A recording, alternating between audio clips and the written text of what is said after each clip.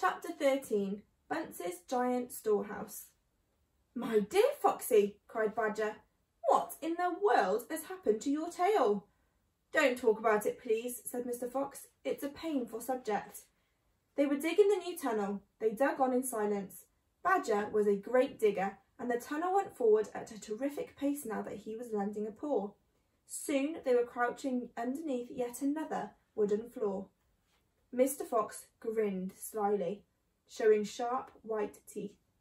If I am not mistaken, my dear Badger, he said, we are now underneath the farm which belongs to that nasty little pot-bellied dwarf, Bunce.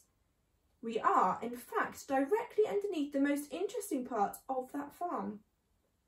Ducks and geese, cried the small foxes, licking their lips. Juicy, tender ducks and big fat geese. Exactly, said Mr Fox. But how in the world can you know where we are? asked Badger. Mr Fox grinned again, showing even more white teeth. Look, he said, I know my way around these farms, blindfolded. For me, it's just as easy below ground as it is above. He reached high and pushed up the wooden floorboard, then another. He poked his head through the gap. Yes, he shouted, jumping in the room above. I've done it again. I've hit it smack on the nose, right in the bullseye. Come and look. Quickly, Badger and the three small foxes scrambled up after him. They stopped and stared. They stood and gasped. They were so overwhelmed they couldn't speak. For what they now saw was a kind of fox's dream, a badger's dream, a paradise for hungry animals. This, my dear old badger, proclaimed Mr Fox, is Buncy, Bunce's mighty storehouse. All his finest stuff is stored here before he sends it off to market. Against all the four walls of the great room, stacked in cupboards and piled upon shelves reaching from floor to ceiling, were thousands and thousands of the finest and fattest ducks and geese, plucked and ready for roasting. And above, dangling from the rafters, there must have been at least a hundred smoked hams and fifty sides of bacon. Just feast your eyes on that, cried Mr Fox, dancing up and down. What do you think of it, eh? Pretty good grub. Suddenly, as though springs had been released in their legs, the three hungry small foxes and the ravenous, hung ravenously hungry badger sprang forward to grab the luscious food. Stop! ordered Mr Fox. This is my party, so I shall do the choosing. The others fell back, licking their chops. Mr Fox began prowling around the storehouse, examining the glorious display with expert eye. A thread of saliva slid down one side of his jaw, and hung suspended in mid-air, mid-air, then snapped. We mustn't overdo it, he said. Mustn't give the game away. Mustn't let them know what we've been up to. We must be neat and tidy and take just a few of the choice of the choicest morsels.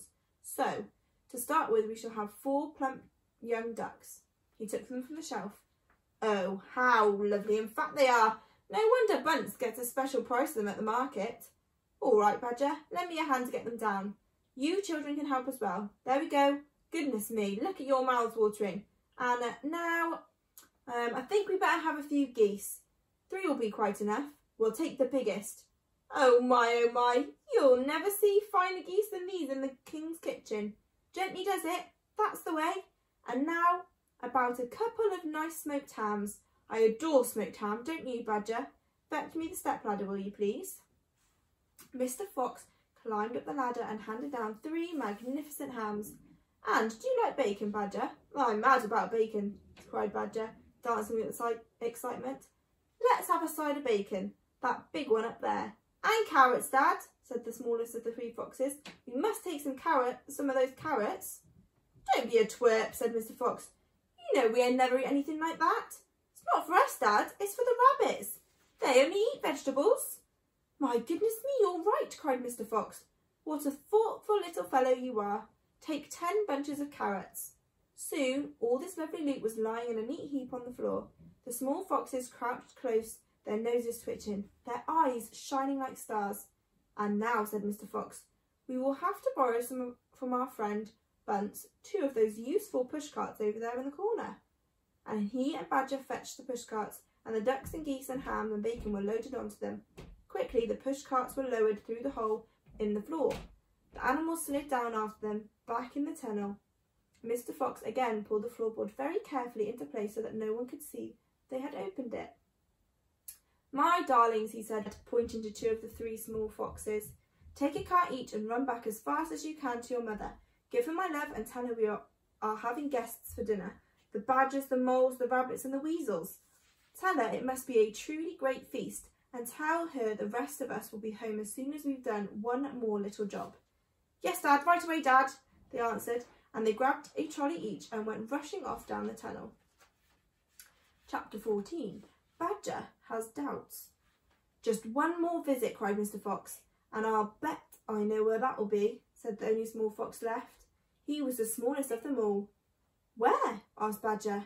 Well, said the small fox, we've been to Boggis and we've been to Bunce, but we haven't been to Bean. It must be Bean. You are right, said Mr Fox, but what you don't know is which part of Bean's place we're about to visit. Which? They said both together. Aha, said Mr Fox. Just you wait and see. They were digging as they talked. The tunnel was going forward fast. Suddenly Badger said, Doesn't this worry you a tiny bit, Mr um, Foxy? Worry me, said Mr Fox. What? All this, this stealing. Mr Fox stopped digging and stared at Badger as though he had gone completely dotty. My dear old furry frump, he said, do you know anyone in the whole world who wouldn't swipe a few chickens if his children were starving to death? There was a short silence while Badger thought about this. You are far too respectable, said Mr Fox. There's nothing wrong with being respectable, said Badger. Look, said Mr Fox, Boggis and Bunce Bean are out to kill us. You realise that, I hope. I do, Foxy, I do indeed, said the gentle Badger. But we're not going to stoop to their level. We don't want to kill them. I should hope not, indeed, said Badger. We wouldn't dream of it, said Mr Fox. We shall simply take a little food here and there to keep us and our families alive, right? I suppose we'll have to, said Badger. If they want to be horrible, then let them, said Mr Fox. We down here are decent, peace-loving people. Badger laid his head on one side and smiled at Mr Fox. Foxy, he said, I love you. Thank you, said Mr Fox. And now let's get on with the digging. Five minutes later, Badger's front paw hit against something flat and hard. What on earth is this? he said. It looks like a solid stone wall. He and Mr Fox scraped away the soil. It was a wall, but it was built out of bricks, not stones. The wall was right in front of them, blocking their way. Now, who in the world would build a wall under the ground? asked Badger. Very simple, said Mr Fox. It's the wall of an underground room, and if I'm not mistaken, it is exactly what I'm looking for. Chapter 15 Bean's Secret Cider Cellar Mr Fox examined the wall carefully. He saw that the cement between the bricks was old and crumbly, so he loosened a brick without much trouble and pulled it away. Suddenly, out from the hole where a brick had been, there popped a small, sharp face with whiskers. Go away, it snapped. You can't come in here, it's private. Good Lord, said Badger. It's Rat. You saucy beast, said Mr Fox. I should have guessed we'd find you down here somewhere. Go away, shrieked the rat. Go on, beat it. This is my private pitch. Shut up, said Mr Fox. I will not shut up, shrieked the rat. This is my place. I got here first. Mr Fox gave a brilliant smile, flashing his white teeth. My dear rat, he said softly, I am hungry and if you don't hop it quickly, I shall eat you up in one gulp. That did it. Rat popped back fast out of sight. Mr Fox laughed and began pulling more bricks out of the wall. When he had made a biggish hole, he crept through it. Badger and the smallest fox followed him in. They found themselves in a vast, damp, gloomy cellar. This is it, cried Mr Fox. This is what? said Badger. The place is empty. Where are all the turkeys? asked the smallest fox, staring into the gloom. I thought Bean was a turkey man. He is a turkey man, said Mr Fox, but we're not after turkeys now. We've got plenty of food. Then what do we need, Dad? Take a good look around, said Mr Fox. Don't you see anything that interests you? Badger and the smallest fox peered into the half darkness. As their eyes became accustomed to the gloom, they began to see what looked like a lot of big glass jars standing upon shelves around the wall. They went closer. They were jars. There were hundreds of them, and upon each one was written the word cider. The smallest fox leapt high in the air. Oh, Dad, he cried out, look what we found. It's cider. Exactly, said Mr Fox. Tremendous, shouted Badger. Bean's secret cider cellar, said Mr Fox. But go carefully, my dears, don't make a noise. This cellar is right underneath the farmhouse itself. Cider, said Badger. It's especially good for badgers. We take it as medicine. One glass, one large glass, three times a day with meals and other bed, another at bedtime. It will make the feast into a banquet, said Mr Fox. While they were talking, the smallest fox had sneaked a jar off the shelf and had taken a gulp. Wow, he gasped. Wowee! You must understand this was not the ordinary weak fizzy cider one buys in a store. It was the real stuff, a home-brewed fiery liqueur that burned in your throat and boiled in your stomach. Ah, gasped the small fox.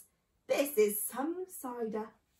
That's quite enough of that, said Mr Fox, grabbing the jar and putting it onto his own lips. He took a tremendous gulp. It's miraculous, he whispered, fighting for breath. It's fabulous. It's beautiful. It's my turn, said Badger, taking the jar and tilting his head back. The cider gurgled and bubbled down his throat. It's, it's like melted gold, he gasped. Oh, Foxy, it's like drinking sunbeams and rainbows. You're poaching, shrieked Rat. Put that down at once. There'll be none left for me. Rat was perched upon his, the highest shelf in the cellar, peering out from behind a huge jar. There was a small rubber tube inserted into the neck of the jar, and Rat was using this tube to suck out the cider. You're drunk, said Mr Fox.